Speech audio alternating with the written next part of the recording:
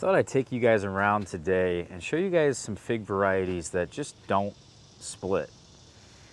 And then of course talk about the reasons why they don't split because it's not just enough to show you, you know, some fig varieties that you guys can go after, but if you wanted to expand your knowledge and use that knowledge to then go after new varieties of figs, you could use the same principles that I use um, for those particular fruits.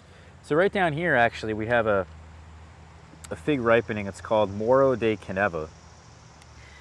And you can see on these figs, I mean, just across the board on the two trees I have right here in pots is that the stem is extremely long. Not only is the stem extremely long, but the fruits are very elongated and that they really have this classic oval shape almost a teardrop shape to them. And what this enables the fig to do, because it has a long stem, because it has a long body, a long neck, and really not a, uh, a very fat bottom, it's very slender, it's able to shed water very easily.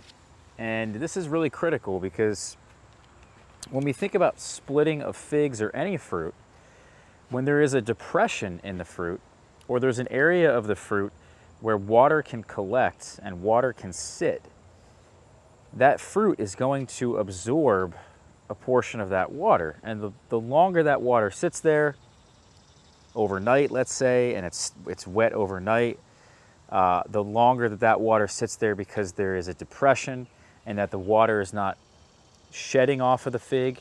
I see this a lot in figs that uh, have the tendency to be straight up in the air like this one here, although it's really not ripening right now, but a fig like Italian 258, it splits so often because a lot of the figs, the bottom is pointing straight up in the air.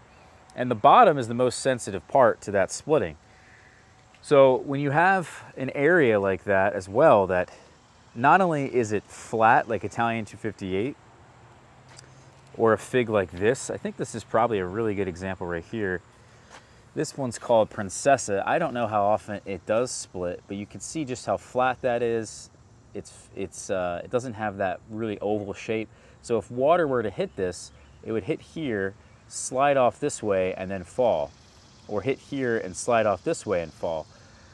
Which is okay, but the fact that this eye is now pointing up towards the sky, towards the rain, this is going to absorb a lot of water at this location and it's going to split. Whereas if you had, you know, this fig here where it just hangs straight down in the air, the bottom of the eye here is towards the ground. Almost no water will ever touch that point. Um, or very little water will touch that point. So there's a combination of things here is that the water is being absorbed into the fruits. And because it's being absorbed, the fruits are growing, they're expanding very quickly when you have a fast expansion of any fruit, they're going to have a higher tendency to split. Um, and it's the same thing with the water. If we water our trees too much, they uptake too, mu too much water at one time, all that water is going to be sent into this fruit and it's going to expand more quickly and therefore it's going to split more often. So what we're really looking for, I think, in a fruit in a variety, I should say, for those of us who live in these very humid, rainy places. I mean, especially the tropics. We talk about places like Hawaii, South Florida, even just the South, like Louisiana, um, you know, places that get a lot of rain. We really want to be careful with choosing the right variety. And, you know, I've said before, actually, it's not just about the split resistance or the rain resistance. There's other things called hang time, which I've talked about. So there's a lot of factors that can go into this decision of choosing right, the right fig variety for your particular climate. But across the board, I think a general recommendation for those of us in these more humid places, the Northeast for sure, um, you know, anywhere where you're not getting about 25 inches of rain annually, you're getting more than 25 inches of rain, you should be choosing varieties that are more elongated in shape. not only are they more elongated in shape, like you could see this fig here, this one's called Vagabond, and you can see it has that oval shape, right? It's got that teardrop celeste-like shape almost, although there's a, there is quite a difference. You can see here, here's actually a black celeste that's ripening, and it has that teardrop, typical teardrop shape that you'll see. This enables it, because of that long neck, that long slender body, it enables it to hang better, as I said, and not absorb more of that water. Now, even though this fig here, as an example, has the shape that we're looking for, it's not flat, right? It's not urceolato. This one here, you could argue actually is probably pyriform, which is the teardrop shape. This one here is probably uh, urceolato or, um, oh man, what's the other shape that I'm, I'm forgetting the exact name. But you also have figs as well that are just, they're just round. Like this one here, you can make an argument, or even this one here, this is just a round fruit. And because it's so round, you're then going to absorb more water. You're then going to have more splitting. The water is going to have a place to sit on the fruit. So it's really just that simple. And that I'm very biased now, very biased towards fig varieties and their shape in that when I'm choosing a new variety, I almost completely, unless there is something very special about it, unless there's something that I think has a lot of potential in it, I am very wary, very negative and down towards varieties that tend to have the wrong shape. And I'm very bullish and positive on the figs that have the best shape. And I would argue, by the way, just for you know, out of all the fig varieties I've ever seen so far, this Moro de Caneva has the best shape. It just, it just does. I mean, this is like picture perfect. Not only does it have the oval shape that we're looking for to shed the water, but the stem really helps the fig hang in the right way to really help it shed water. At no point, as you can see on these fruits, I mean, as soon as this, although this one here is really pointing up towards the sky, very, very soon as this thing starts to swell, it's going to very quickly hang downwards. I mean, there's going to be very few points in time, whereas you can even notice with this Celeste, although it has, you know, a pretty long neck, it is swelling right now. It is changing color, but the fig is still pointing up a little bit towards the sky. And that's not what we want. We want this thing at this point already to be pointing downwards. And that's exactly what this Moro de Caneva is already doing it's already pointing all the way down towards the ground. There's so such a small chance that that thing will split compared to so many other varieties. So for me, at least my money's on Moro de Caneva as being probably the most split resistant fig I have, which is why I value it so highly here.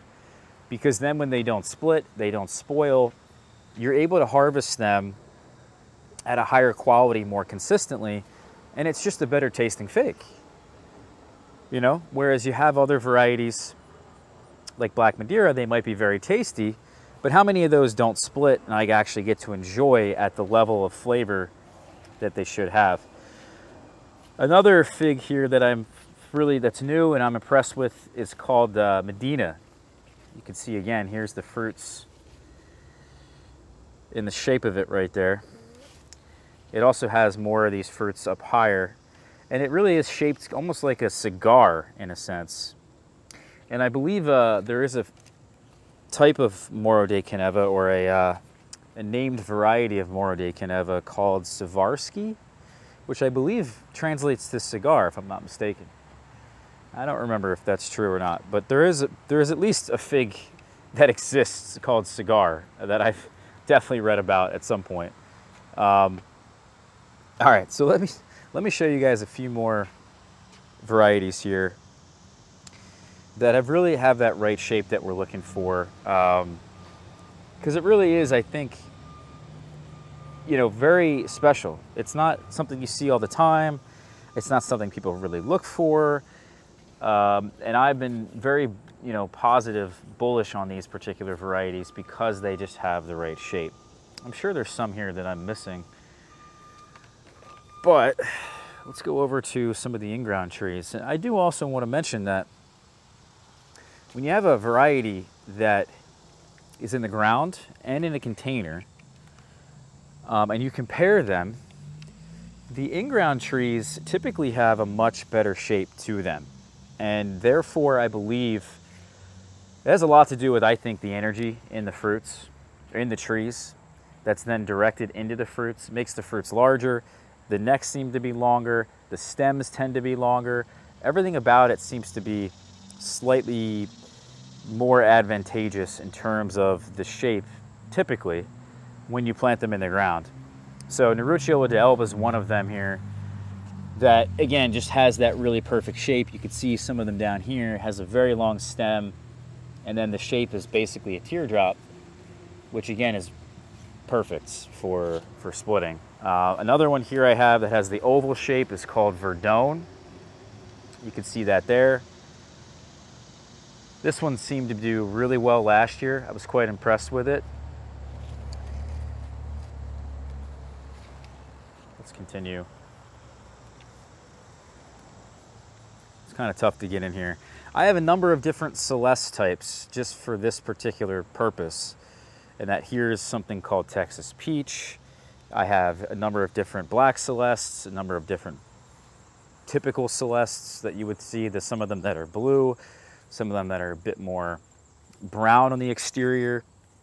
Um, I also want to mention one other point here is that I have a fig here called uh, Verdino del Nord, and although typically this shape of the fig is round, the stem is typically long enough to really help it hang in the right way. So even though I've said that you need to have the right shape to the fig, the stem length and the neck length is really, really critical so that the fig can hang on the right angle. So even though a fig like Verdino del Nord and also a fig here like Campaniere, as you can see, Campaniere has a round shape as well. It's spherical, as they call it. The stem is usually long enough in the ground so that it hangs on the right angle and it's not the worst in the world, you know? There's much worse figs that I've seen. Another one here, I actually just planted it because it had such a nice shape to it, is this fig here called Verdal Long. And I believe this is very, very similar to um, De La Senora Hyvernenka, Coldedom Catat, Mora de Bou. Uh, but this one has a nice shape to it. Again, it's elongated, oval-like, more length to the figs. Um, so that's been always been impressive. I've been really impressed with De La Senora Hyvernenka, and I figure, well, just because this one's so similar, why not plant it? And uh, it will really, I think, really impress me. Another one here is um, this fig. It's called uh, Rosa de Goni, and it has some pretty good elongated fruits to it. You can see there. Uh, let's see, moving on. So I planted this one with the knowledge that it would have the right shape. This one as well here, Mala Vermella seems to have the right shape, although I don't have any figs on it. A lot of the Col de Dames have the right shape, and that's why they do so well here. You know, not just the Celeste types, they're also elongated. Those Col de Dames I have right here, which is I think Col de Dame Noir. I also have a De La Roca behind it, which is very, very similar to the Col de Dames. Here's an interesting fig that has, like I said, it's performed so differently in the ground than it has in a pot that it's quite shocking. This one's called the Daloso, and the stem length, the neck length, everything about it just seems so ridiculously different than the years. I've had this fig for years in the in the in a pot, and it just is performing and looks so differently now in the ground. And it's got pretty good fruit set too, which is which is also important. You know, it's not just enough here for that one little key characteristic. This one also seems to do well, is Montelsina Rosa. We just planted this. And uh, over here is uh, the Golden Rainbow, which has a very long neck. It's very similar to yellow long neck. Also, the stem is very long. So this fig, although it does have a very fat bottom to it, um, it could, you know, have that water um, shedding that we desire because of that long neck. Because of that long stem, although the bottom is very fat. So I'm not gonna put a lot of stock into that one and say it doesn't split because the, the fatter the bottom is, the worse usually it gets. However, as I said, fig like Campaniere, fig like Verdino del Nord, they have a longer stem and therefore they're able to uh, shed that water and hang the right way. So the, the golden rainbow is hanging the right way, you know. This one over here is little ruby, and here's like the complete opposite of what we want is that a lot of the fruits hang straight up in the air. You can see just like that. It's pointing upwards. And even with this one, the eye is open typically. So rain gets in there, bugs get in there, it spoils the interior. It's just not good. And um, highly, highly don't recommend, you know, this particular fig for that reason. I mean, that's probably the biggest reason I don't like it is that the shape is wrong, the figs are pointing up towards the sky, the eyes are to the sky, and the eyes open. Uh, pretty much across the board, all the LSU figs are gonna be great. You know, LSU Huye here, perfect. they all have Celeste bred in them, so they're just naturally very good at this. One that um, struggles is actually the Ronde Bordeaux. Um, however, because this tree is planted in the ground, I'm, I'm seeing a lot more energy and the stems are usually a bit longer and they seem to have a little bit longer of a neck. So even though the figs are very round, I mean, that's what Ronde Bordeaux means. It means round of Bordeaux. So the fact that the figs are round, they do typically tend to split and a lot of growers have seen that over the years with that particular variety. This one here seems really impressive. It's called Medieval Yavor and it has, a, again, that perfect shape we look for. Not a very long stem, but the neck is extremely long. So I'm interested to see what that one does this year. It's typically dropped for me many years in a row. Again, this is the uh, white Marseille right here, and the stem is very long, although the fruit is quite round. And uh, it's just something that's really critical, or something that's really important, I think, worth noting with these in-ground trees is that they really do aid with splitting in such a great way. Here's another one here. It's called uh, Lampira. Very good shape to this fruit. Um, and what's nice about it is it's a lot like the Col de Dames.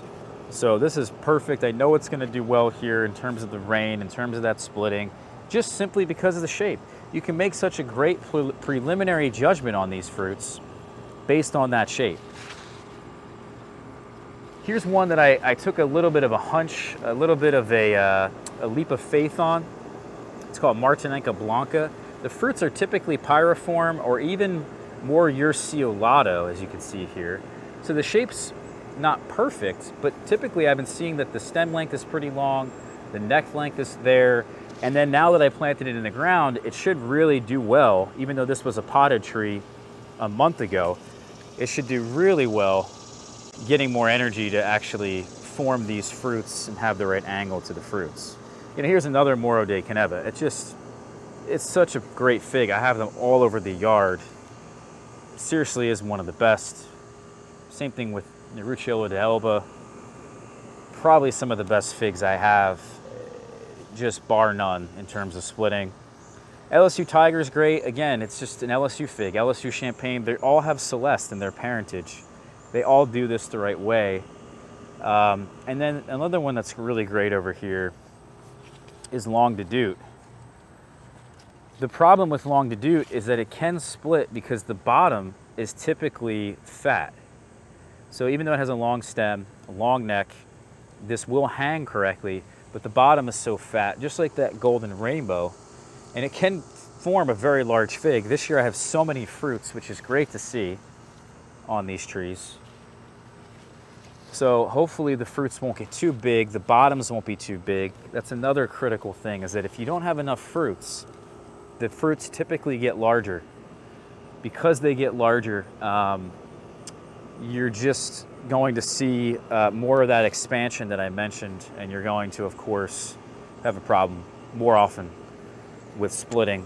Um, I do also really like White Triana. I wish I had a fruit Let me see if I could find White Triana. Now White Triana has a very fat bottom as well.